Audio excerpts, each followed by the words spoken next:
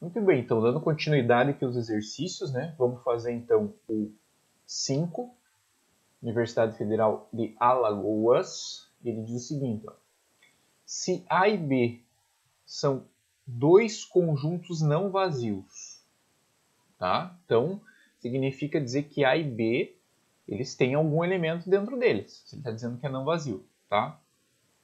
Aí ele dá aqui a união de A com B, dá a diferença entre A com B e dá a diferença entre B com A. E o que ele está pedindo para a gente é a intersecção. Bom, vamos partir para o diagrama de Venn, que são aquela, é aquela representação dos conjuntos na forma figural, né? Então, a gente está trabalhando aqui com dois conjuntos. Então, vamos colocar aqui os dois conjuntos. A e B. Bom, vamos lá. Vamos chamar esse primeiro aqui de A e esse aqui de B. E aí a importância que eu falei da aula passada, da gente saber é, o que, que significa a diferença entre os conjuntos, né? e também na forma figural. Quando eu faço A menos B, o que, que eu estou fazendo? Eu estou pegando os elementos de B e retirando A. Então, o que sobra aqui são exclusivamente elementos do conjunto A.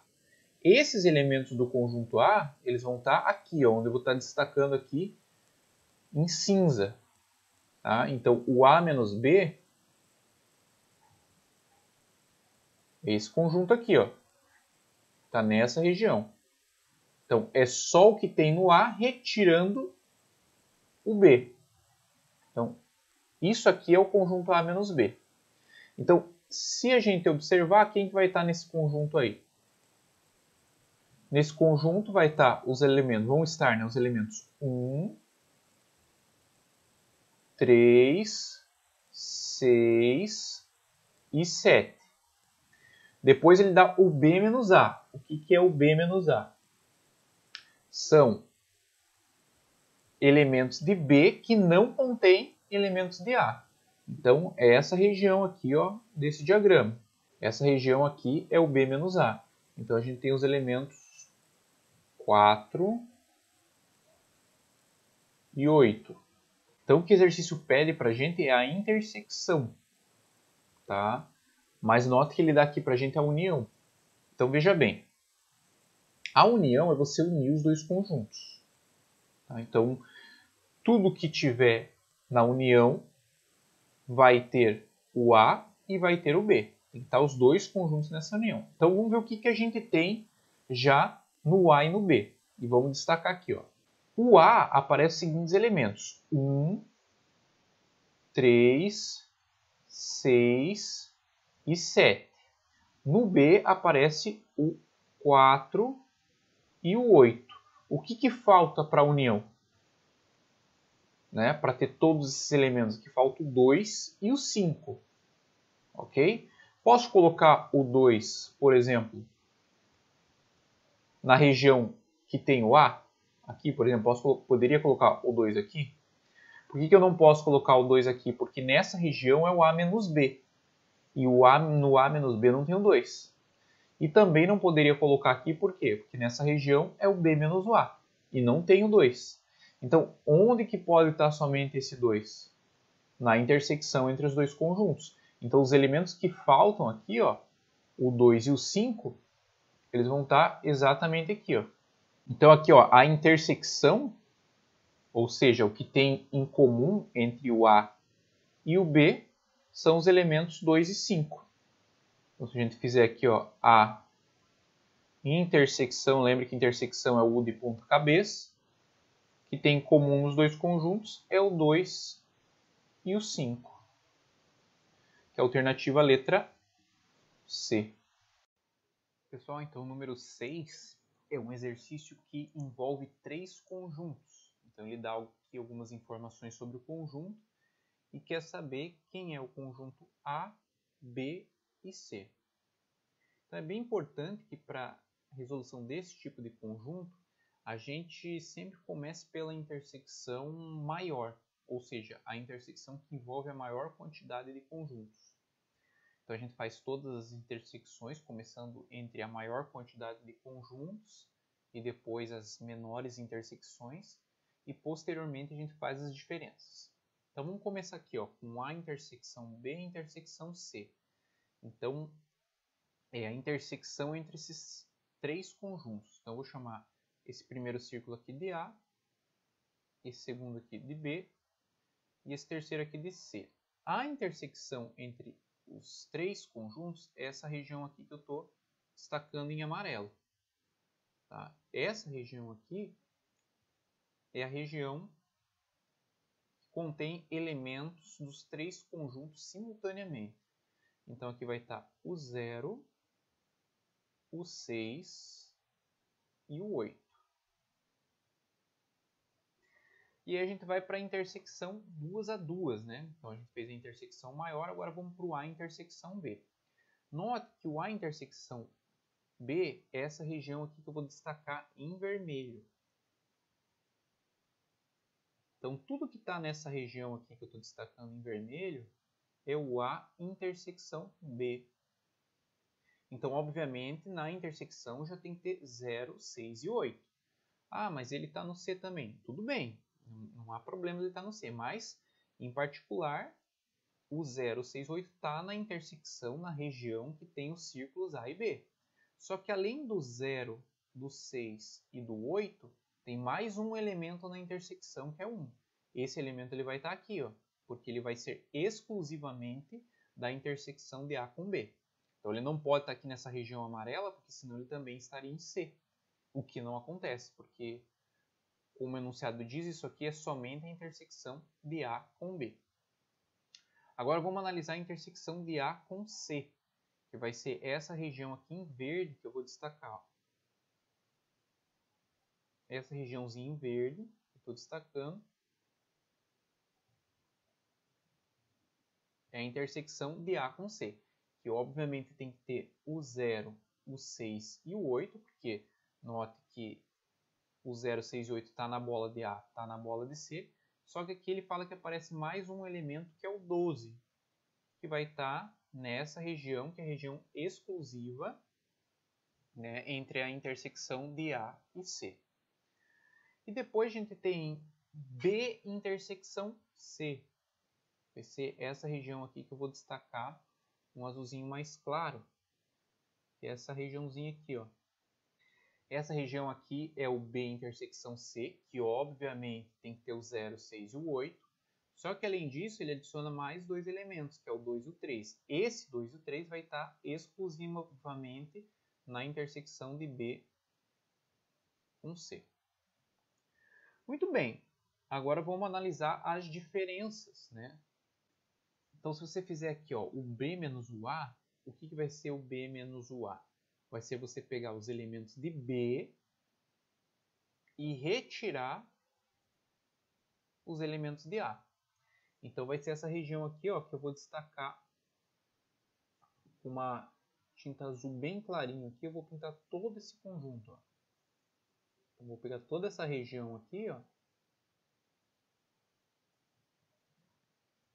e vou pintar ela com esse azulzinho claro. Isso aqui representa o B menos o A.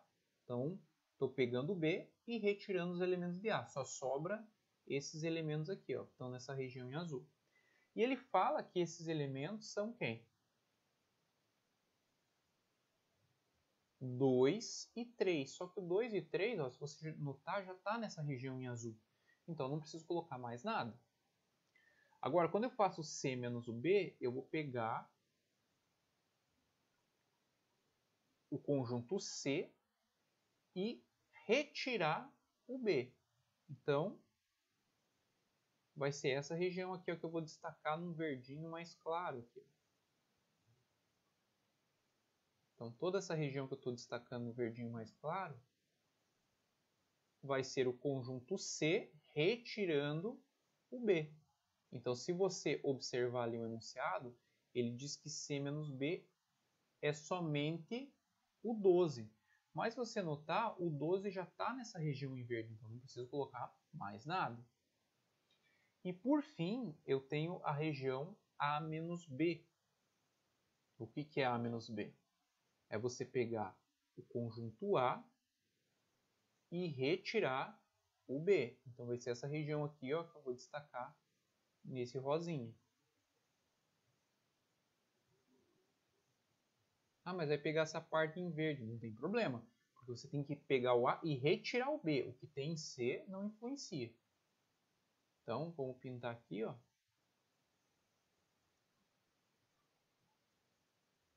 Toda essa parte de rosa. E ele diz que é o 12 e o 15. Nessa parte rosa, ó, já tem o 12.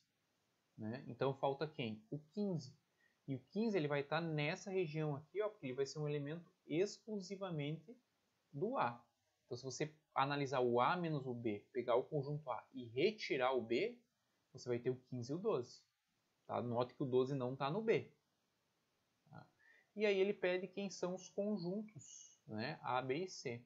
Então vamos analisar agora cada círculo individualmente. Quem que vai ser o A? Bom, vamos ver quem está na bola de A. É o 0, 1, 6, 8, 12 e 15. Depois, quem que é o conjunto B? Então vamos analisar somente o círculo B. Quem está no B? É 0, 1, 2, 3,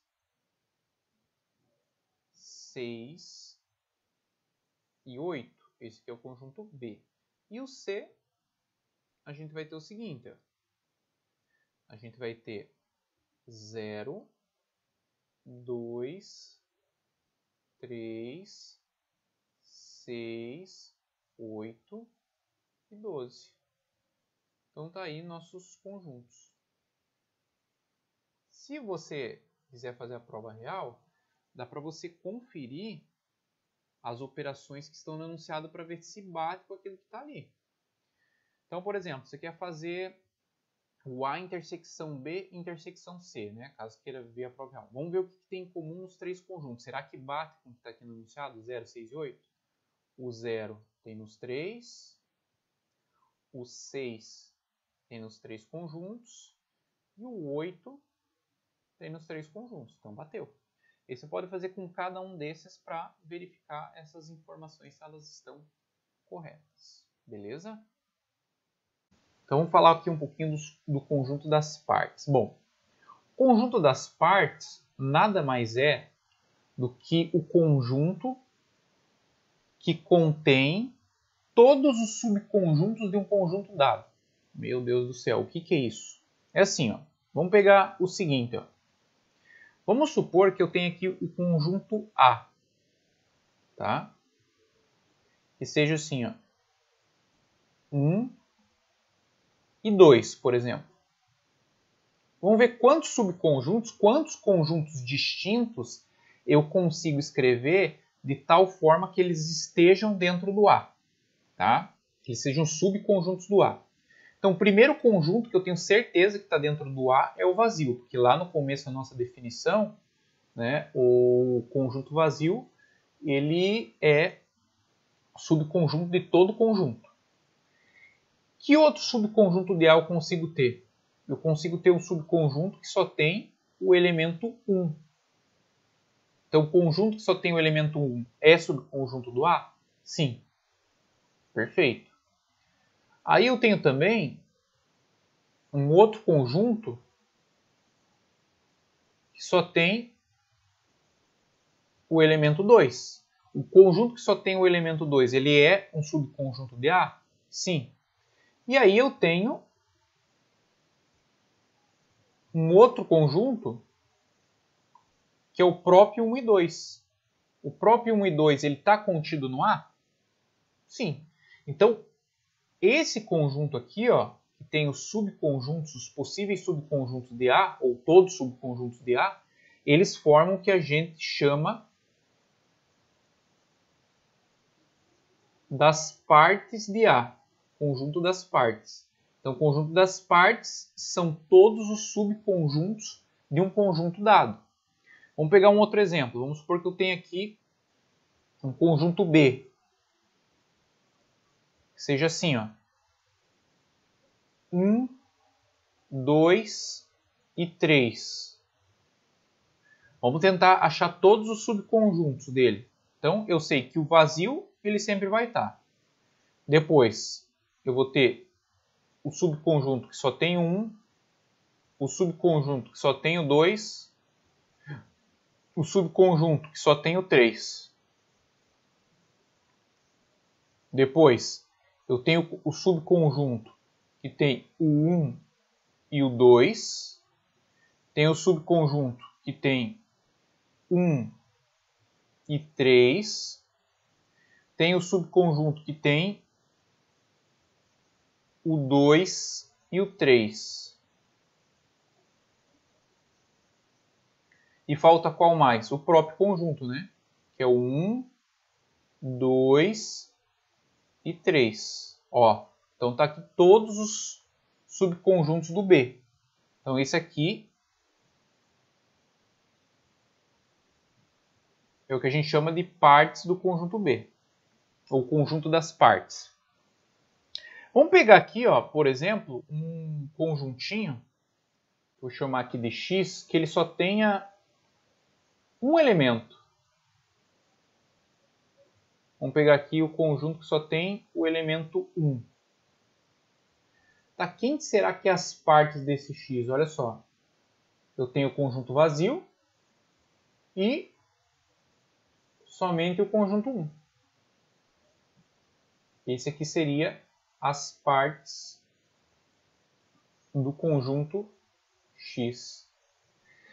E aí, pessoal, se vocês observarem com, com um olhar clínico, se eu perguntar assim para vocês, olha, quantos é, elementos tem as partes de x. Aí você vai dizer assim, ah, professor tem o conjunto vazio e o 1. Então tem dois elementos. Ah, quantos elementos tem as partes de A? Você vai dizer, tem o conjunto vazio, tem o conjunto que só tem o elemento 1, o conjunto que só tem o elemento 2 e o conjunto que tem o elemento 1 e 2. Ah, então tem quatro elementos. Vou colocar aqui, ó. 2 elevado ao quadrado. Aqui 2 elevado a 1, 2 elevado ao quadrado. Vocês já vão perceber porque que eu vou estar colocando como potência de 2. Aqui, ó, se eu pegar um conjunto que tem três elementos, que é o conjunto B, quantos elementos vai ter as partes de B? Você vai dizer 1, 2, 3, 4, 5, 6, 7, 8. 8 elementos. 2 elevado ao cubo. Tá notando o que está acontecendo? Se você perceber assim, ó, se eu tenho um conjunto que tem um único elemento, quantos elementos terá as partes dele? 2 elevado a 1. Se eu tenho um conjunto que tem dois elementos, quantos elementos vai ter as partes desse conjunto? 4. Então, 2 elevado a 2. Se eu tenho um conjunto que tem três elementos, quantas partes, quantas, é, quantas partes vão, quantos elementos vão ter a, as partes desse conjunto? Oito elementos. Então, de forma geral, quando a gente escreve assim, ó, isso aqui representa a cardinalidade, que é a quantidade de elementos de um conjunto. Cardinalidade, vou colocar assim, ó, quantidade de elementos de um conjunto.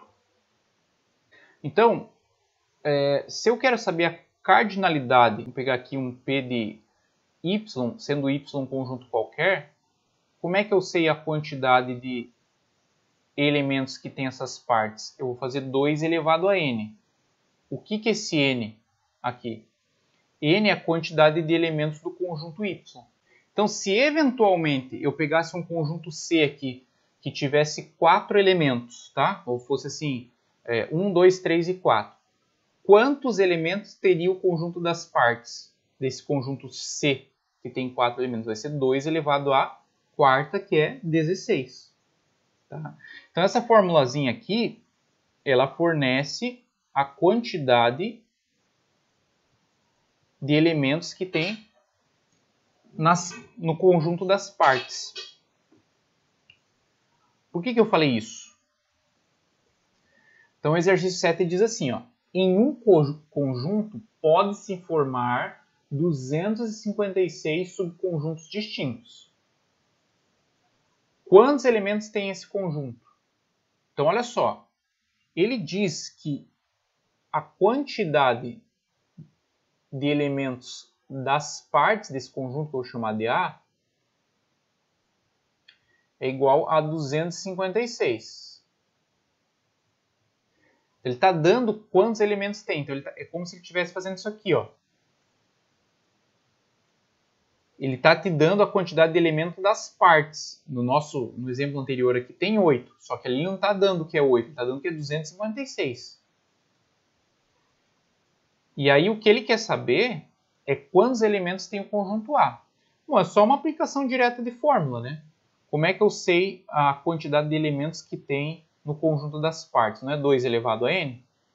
Então, vou colocar aqui, ó, 2 elevado a n igual a 256. Então, tenho que pensar que número que eu vou colocar no expoente do 2 que vai dar 256. Ah, professor, não faço ideia. Então, uma das estratégias é você vir aqui, ó, pegar o 256 e fatorar ele.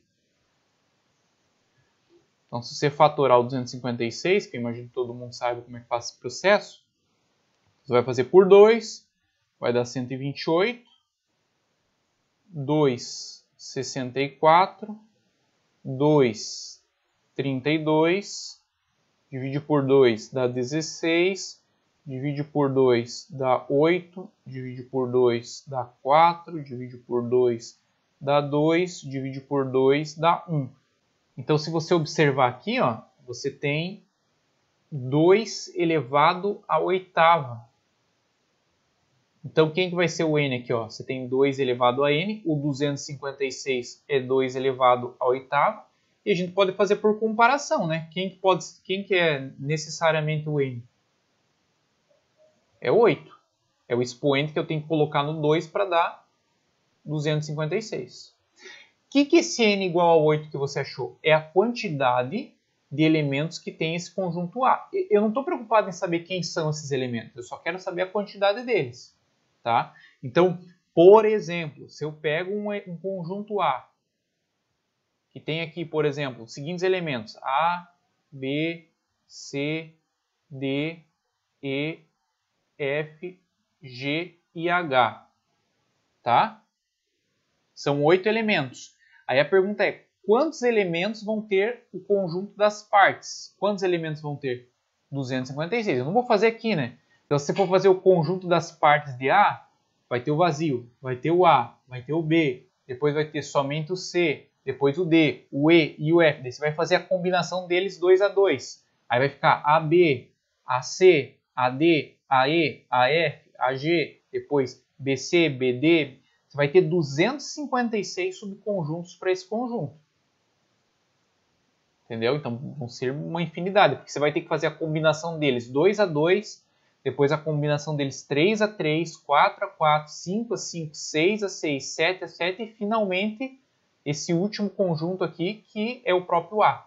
Aí você vai ter 256 subconjuntos.